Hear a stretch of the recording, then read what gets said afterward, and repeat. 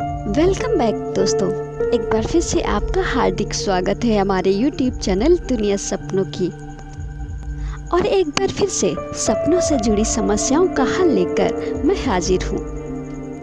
और आज मैं आपको बताऊँगी, यदि आप सपने में नेवला देखते हैं तो इसका क्या अर्थ होता है? ये सपना शुभ माना जाता है या फिर अशुभ? कैसे जानेंगे?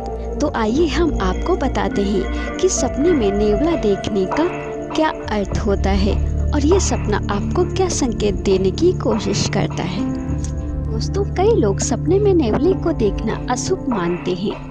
लेकिन हम आपको बता दें, यदि आप सपने में नेवला देखते हैं तो ये सपना अशुभ नहीं माना जाता है। ये एक शुभ संकेत होता है। इस सपने के अनुसार आपको आने वाले भविष्य में अपने शत्रुओं से मुक्ति मिलेगी। और आपके जीवन में जो भी संकट हैं, वो दूर हो जाएँगे। और स्वप्न शास्त्र के अनुसार इस सपने का एक और भी मतलब होता है।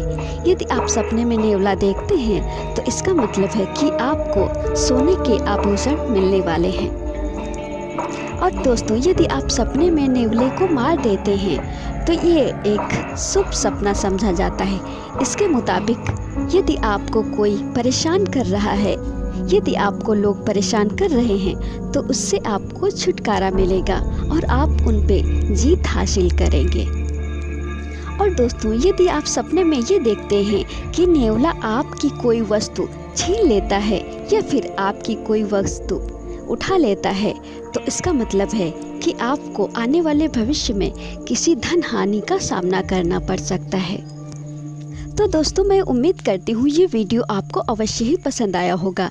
अगर पसंद आया है तो प्लीज़ एक लाइक कर दीजिए और मेरे चैनल को सब्सक्राइब भी कर लीजिए और साथ ही बेल आइकन को प्रेस करना ना भूलें, ताकि आप हमारा वीडियो सबसे पहले देख सकें और आप हमारे साथ जुड़े रह सकें। नमस्कार दोस्तों।